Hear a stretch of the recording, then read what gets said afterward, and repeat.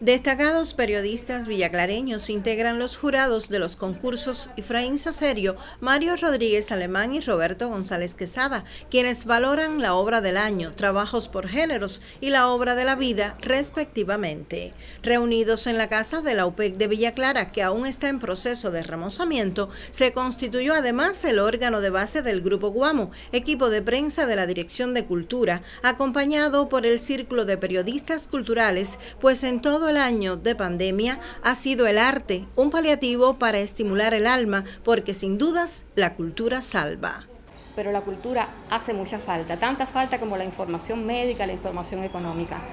Vivimos en una provincia muy rica en personal artístico, vivimos en una provincia de mucha creatividad y en estos tiempos hemos tenido la suerte de acompañarnos todos a través de las redes y para los que no pueden acceder a las redes, entonces la radio es importante y la televisión también. A veces un poco como para despejar la mente del, oyente, del televidente, y, ha sido realmente una experiencia maravillosa. No obstante a eso, eh, en esta época de pandemia le hemos podido dar voz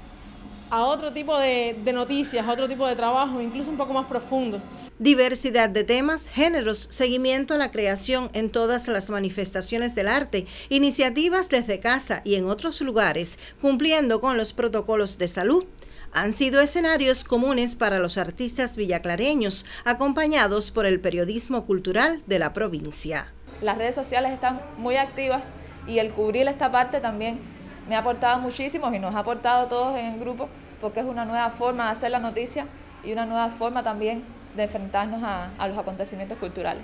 Y hasta el momento ha sido magnífico la tarea que, hemos, realizado con escritores, artistas, teatristas, eh, de todas las manifestaciones, bailarines también, que de una forma u otra no han dejado morir la cultura, que sigue siendo el escudo y espada de nuestra nación. Sobresalen resultados artísticos en el centro del país, pues la fuerza de la imagen y la palabra a través del periodismo cultural hacen visible la obra de muchos en tiempos de pandemia. Desde Villa Clara, Hilda Cárdenas Conyedo, Sistema Informativo de la Televisión Cubana.